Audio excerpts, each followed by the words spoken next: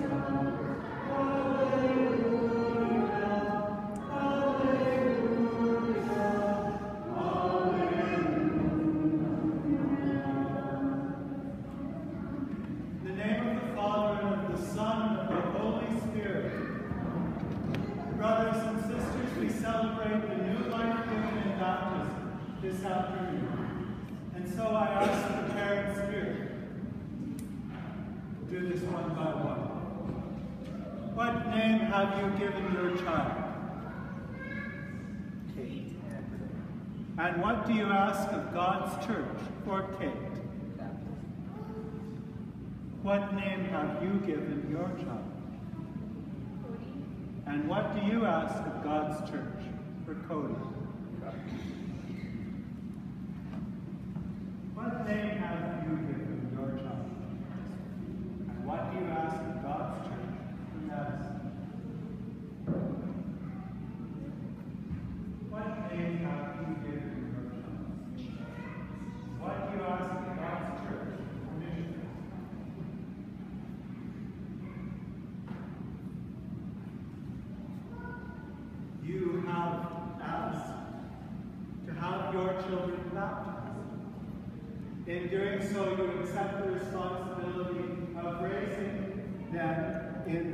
practice of the faith.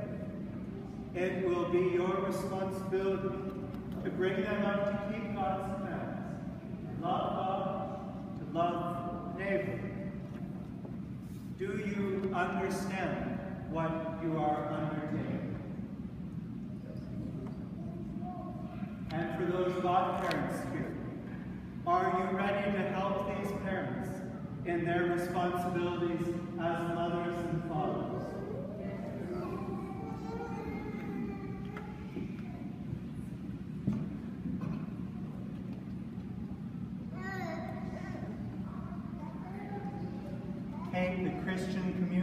welcomes you with great joy.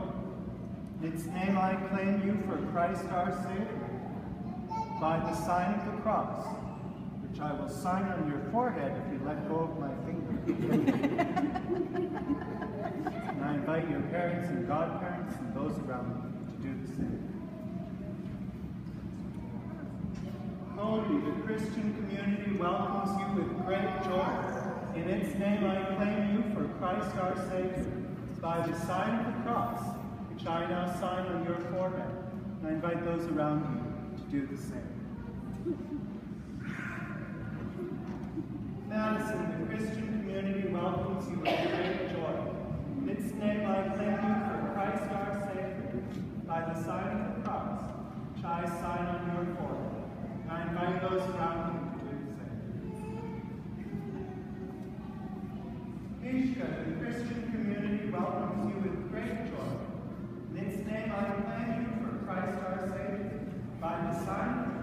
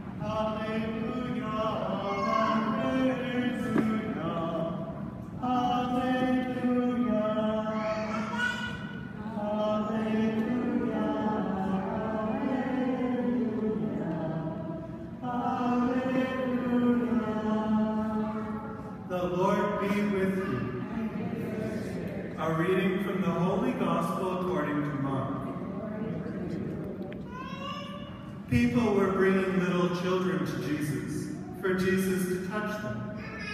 The disciples turned them away. But when Jesus saw this, he was furious, and he said, Let the little children come to me. Do not stop them. For it is to such as these that the kingdom of God belongs. I tell you this, anyone who does not welcome the kingdom like a little child will never enter. Then he put his arms around the children, laid his hands on them, and gave them his blessing. The gospel of the Lord. Please be seated.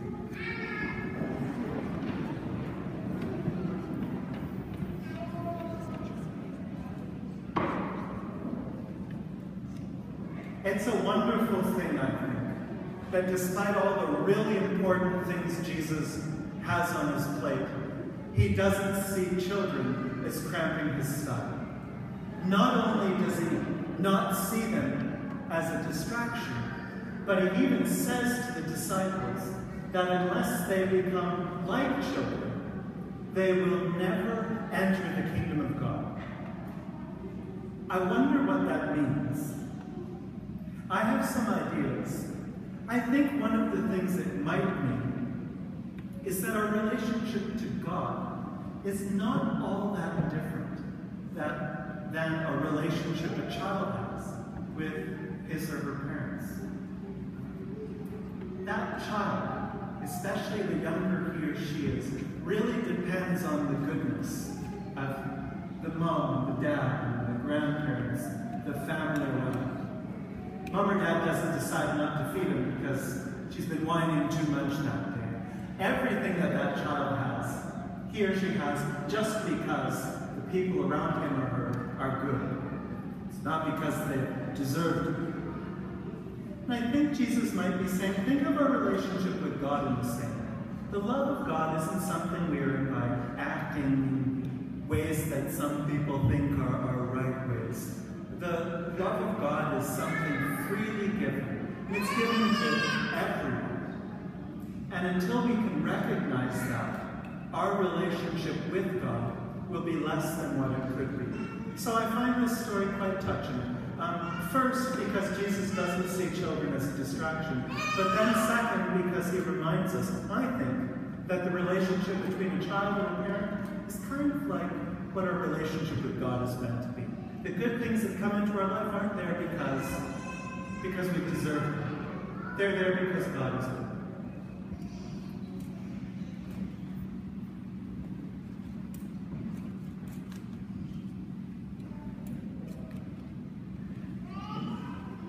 Brothers and sisters, I invite you to stand.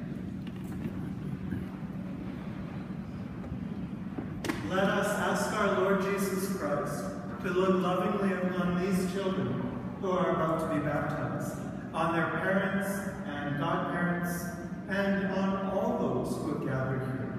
We'll respond to each of these prayers with the words, Lord, hear our. By the mystery of your death and resurrection, may these children in light give them the new life of baptism and welcome them into your holy church. We pray to the Lord. Through baptism and through eventual confirmation, make them your faithful followers and witnesses to the gospel. we pray to the Lord. Lead them by a holy life into the joys of God's kingdom.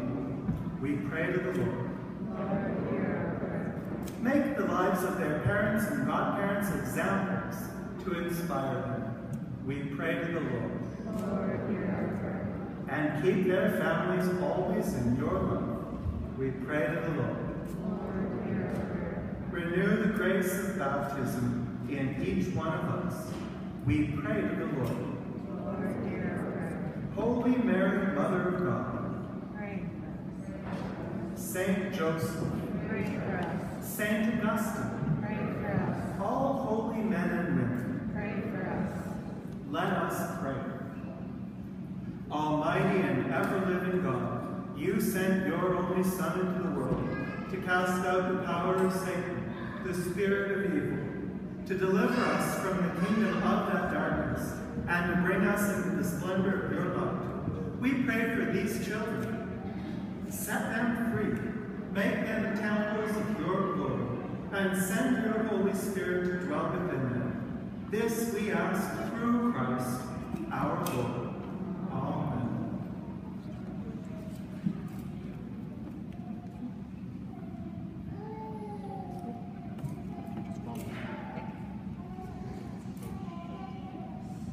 Kate, we anoint you with the oil of salvation.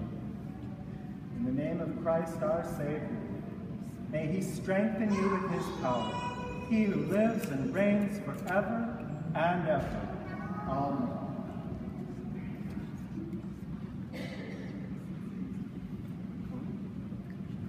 Cody, we anoint you with the oil of salvation. Yeah, yeah. The name of Christ our Savior. May he strengthen you with his power, he who lives and reigns forever and ever. Amen.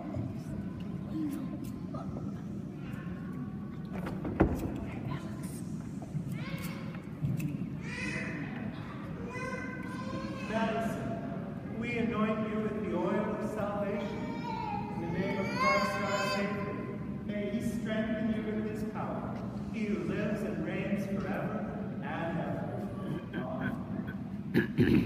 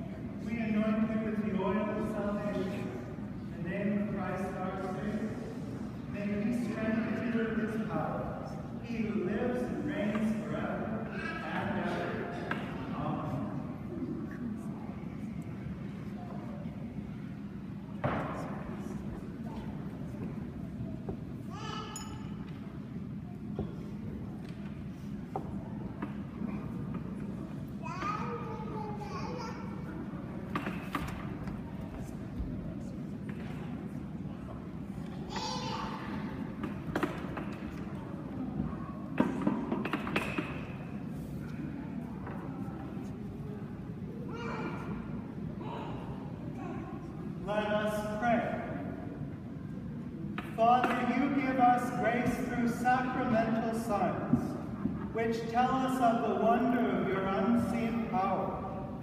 In baptism, we use the gift of water, which you have made a rich symbol of your grace. At the very dawn of creation, your Spirit breathed over the waters, making them the wellspring of all holiness. The waters of the great flood you made a sign of baptism that make an end of sin and a beginning of goodness. Through the waters of the Red Sea, you led uh, Israel out of slavery to be an image of God's holy people, set free from sin. In the waters of the Jordan, your son Jesus was baptized by John and anointed with the Holy Spirit. He willed that water and blood should flow from his side as he hung upon the cross. After his resurrection, he told his disciples, Go and teach all the nations, baptizing them in the name of the Father, and of the Son, and of the Holy Spirit. Father, look now with love upon your church, and unseal for it the fountain of baptism. By the power of the Holy Spirit, give to this water the grace of your Son, so that in the sacrament of baptism, all those whom you have created in your likeness may be cleansed from sin and rise to a new birth of innocence by water and the Holy Spirit. And so we ask you, Father, with your Son, to send the Holy Spirit upon these waters. May all who are buried with Christ in baptism rise with him also into the newness of life. This we ask through Christ our Lord. Amen.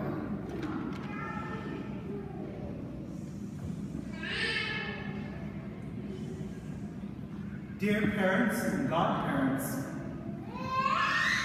you have come here to present your children for baptism. By water and the Holy Spirit, they will receive new life from God, God who is love. On your part, make it your constant care to bring them up in the practice of the faith.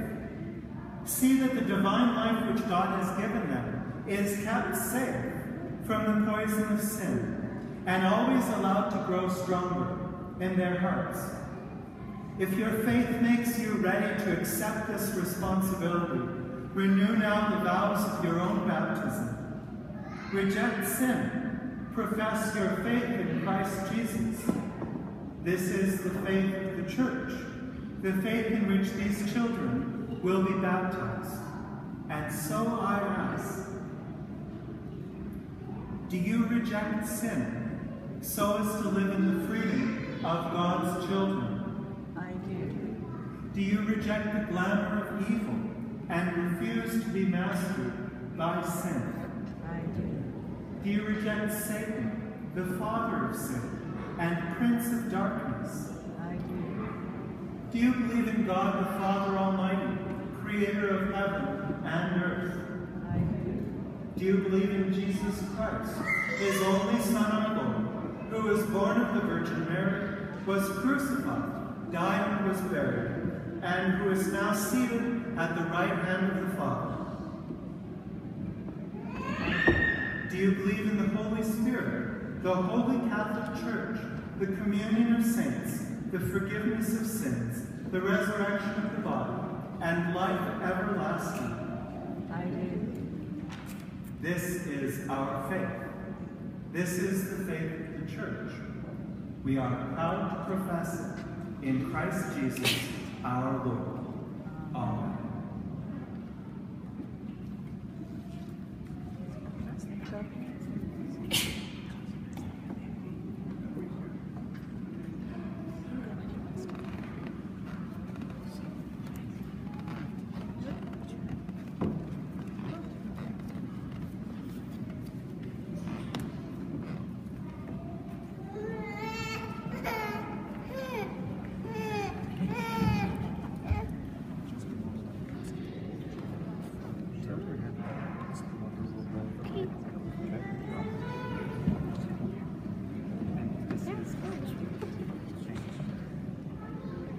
Is it your will that Kate should be baptized in the faith of the church, which we have just professed with you?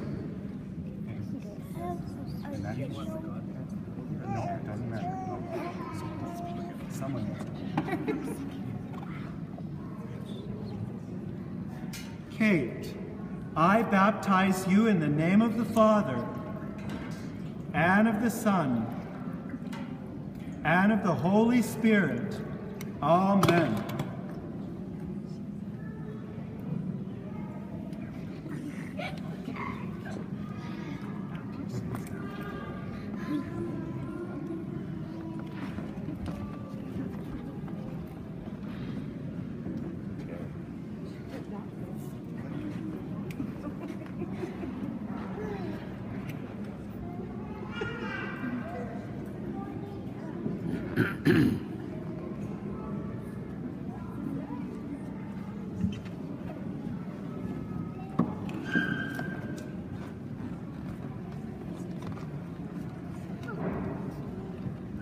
Is it your will that Cody should be baptized in the faith of the church, which we have just professed with you?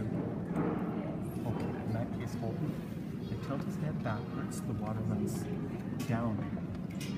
Cody, I baptize you in the name of the Father, and of the Son, and of the Holy Spirit. Amen.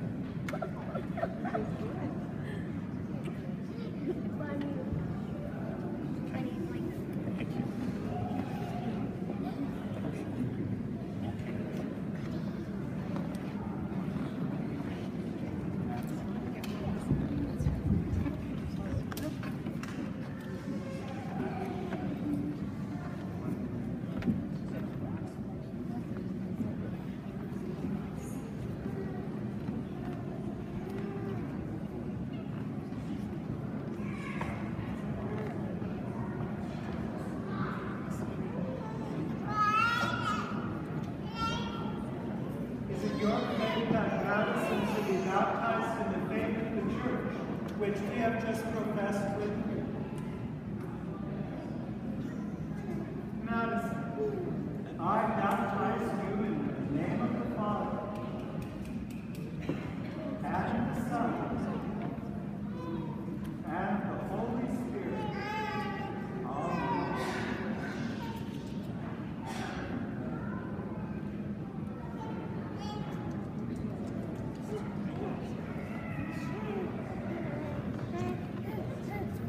Amen.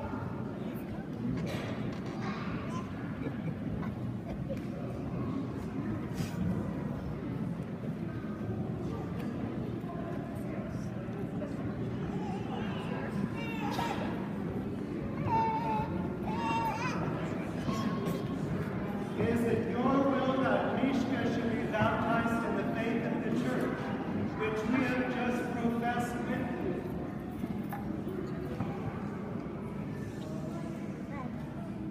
Mishka.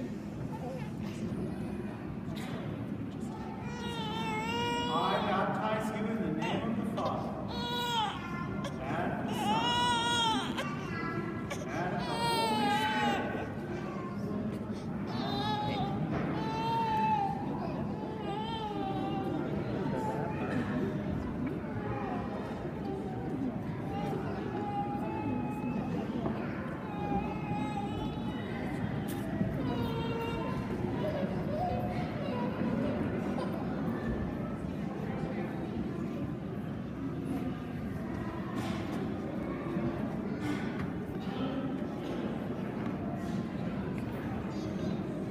God, the Father of our Lord Jesus Christ, has freed each of you from sin, given you a new life by water and the Holy Spirit, and welcomed you into his holy people.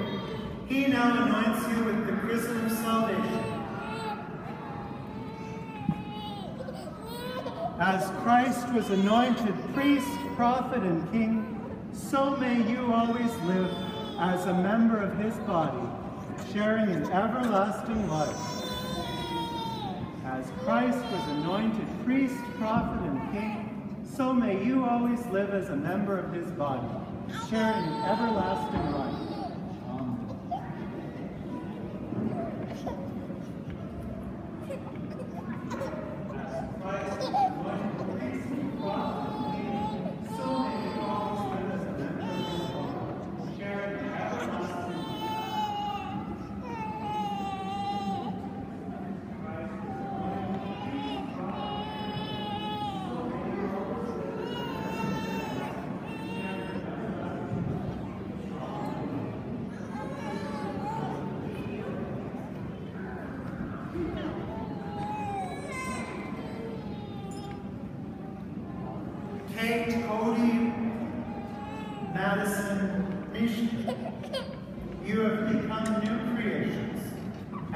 Been clothed in Christ.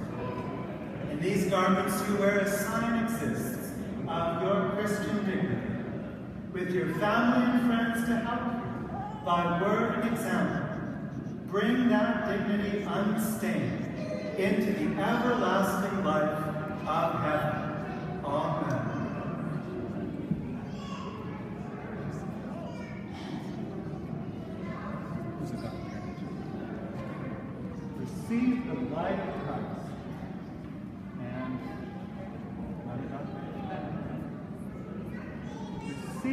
Receive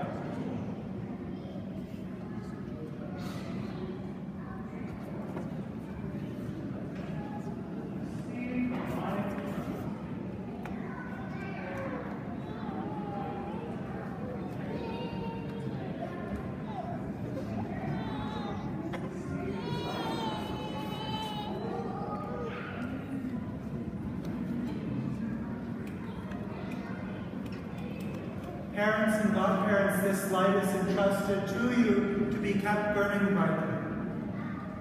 These children of yours have been enlightened by Christ. Now they are to walk as children of that light. May they keep the flame of faith alive in their hearts. And when the Lord comes again, may they go out to meet him with all the saints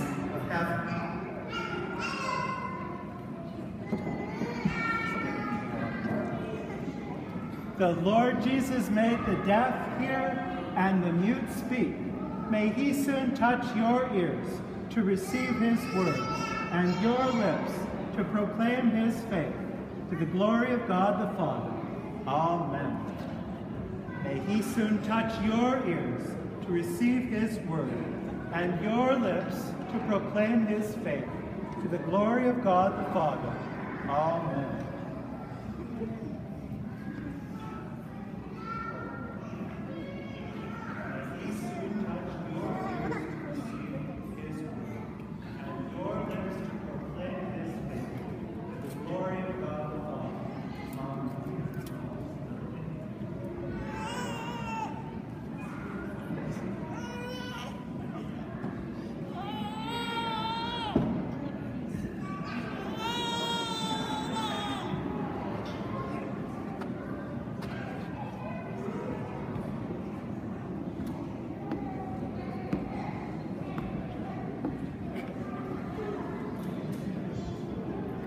Brothers and sisters, let's pray together in words Jesus taught his disciples. Our Father,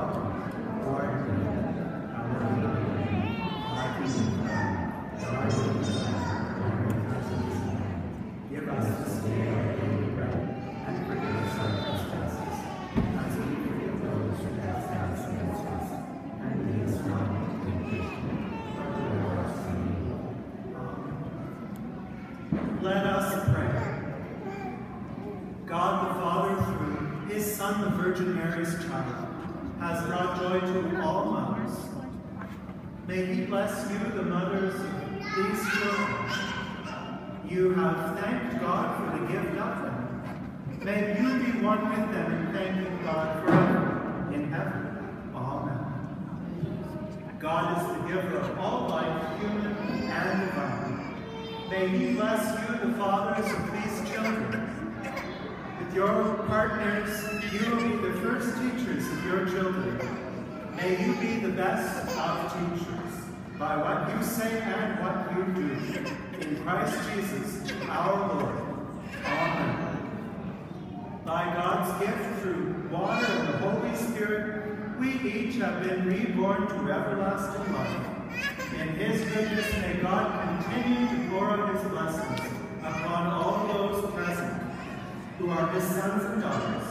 May God make you always, wherever you may be, faithful members of his people. In Christ Jesus our Lord. May the Almighty God bless all of you, the Father, and the Son, and the Holy Spirit. Amen. This concludes our celebration of baptism. Those who wish are, are more than welcome to uh, take whatever pictures they would like. Just be considerate of the fact that there's more than one family, so take turns or do whatever is just, okay? Thanks very much. Thank you folks.